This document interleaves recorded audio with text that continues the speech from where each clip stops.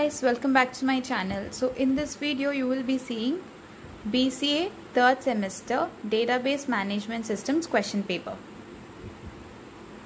So this is a part A. You need to answer any five from the eight questions given. You can look at the questions clearly. Moving on to the part B where you will be given five questions and you need to choose uh, 5 out of 2 choices and you need to answer from each unit. 50 marks is allotted for this section. So these are the questions.